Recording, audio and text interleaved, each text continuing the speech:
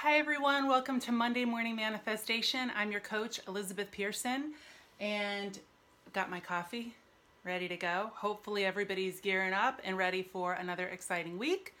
Um, this week we're going to talk about gratitude.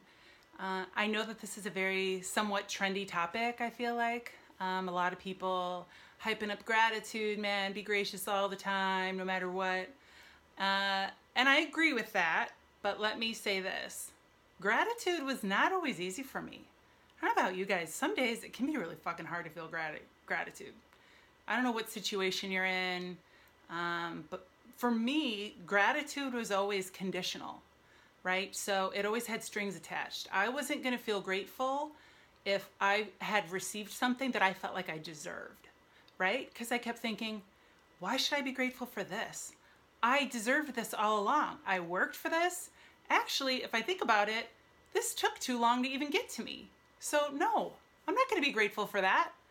Um, that was the way I lived for a really long time. And I'll tell you what, I read this book, Thank and Grow Rich by Pam Grout, and I was already on this path. But I'll tell you what, guys, I think this is on Audible too, available on Audible. But it's really the best money you can spend. If you're going to read one book this year, uh, this is a fantastic one to read.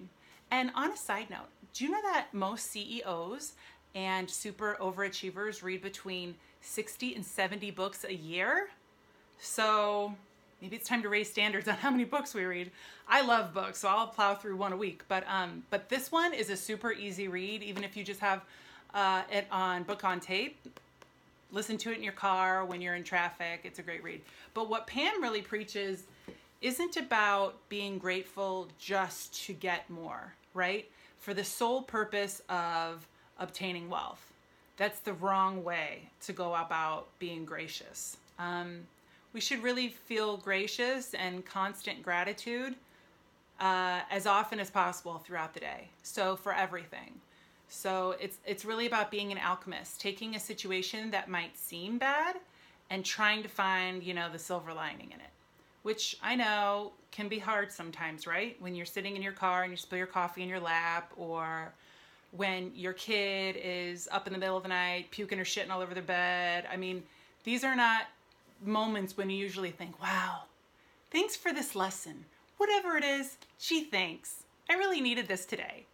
But Pam and everybody else who's super smart in the world seems to say that that's exactly when you should be grateful because we should be grateful that whatever's happening uh, happening to us is happening because it's always a learning opportunity. And that if there is that storm cloud and maybe it's the rain's pounding down real hard you're having a really bad week a bad month bad year that there is going to be a rainbow afterwards. So if you can't feel gratitude, maybe in that exact moment um, where something not so great is happening, try to at least think about the fact that after this passes, something good is going to happen, right? Because that's how we learn and we grow. It isn't through the easy times, it's through the hard times when you're down for the count and then somebody comes by and kicks you while you're down. Uh, but those are precisely the times when we have to be grateful because we can say, okay, I learned that lesson. Thank you. Check it off the list, God, or the universe, or whatever. Don't send it my way again. Uh, because the more that you resist, what does it do? Persist, right? Everything we resist persists. So if we accept it, we surrender it, we, we surrender to the situation, and then we have gratitude for that situation, hopefully it won't happen to us again. And then, you know, this is a no brainer, but look for all those moments that maybe you're missing that you should be grateful for. Um, for me, I know it's for my family, my husband and my kids. I've got two beautiful daughters who are healthy, which is a miracle in itself. But when they're being really, let's call it difficult, assholes, uh, I find it really hard to not get upset and not want to go down that negative shit talking rabbit hole. But you can't. You got to try to check yourself. At least cut down on the frequency that maybe you go down that rabbit hole and think to yourself, thank you, God. Thank you for these kids. Thank you for the voice they have to scream. or cry or do whatever, or when you're having a shitty day at work. Thank God for the opportunity to make money, you know?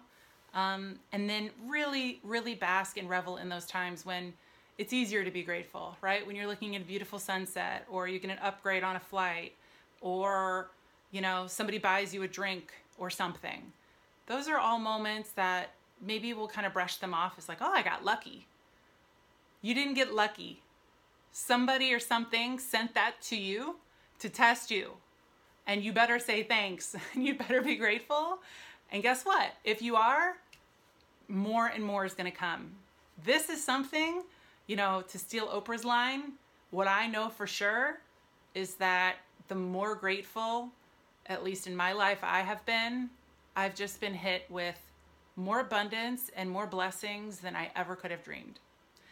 Go out, have a killer week, and I will see you next Monday.